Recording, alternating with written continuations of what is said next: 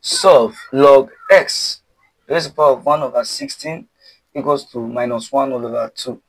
Now we are going to apply log indices to get this solved. It's a technical question. And to solve a technical question will not be technical. So what we do here is, since you're having log x raised to the power 1 over 16 equals to minus 1 over 2, we bring this minus 1 over 2 to become a power of this log x here. So that we now have x raised to the power of minus 1 all over 2 then equals to here 1 over 16. You can see.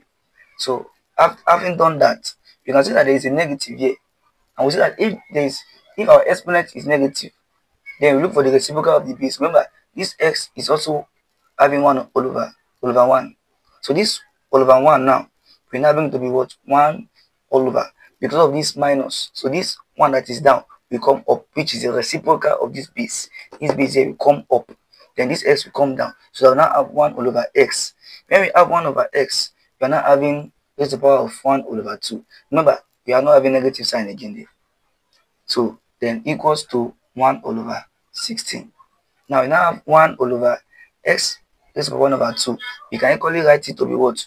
To be root x is a law of indices. Then equals to 1 all over 16. Now what we do next is to cross multiply. So that we have x root x times 1 will give us root x times 1 equals to 1 times 16.